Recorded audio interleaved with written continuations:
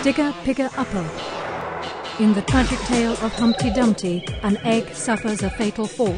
In this challenge, the contestant will attempt to avoid the same fate while rolling an egg to the edge of an inverted platter to pick up three stickers. They must have nerves of steel or they may crack under the pressure. Failure to complete this task in 60 seconds may result in elimination.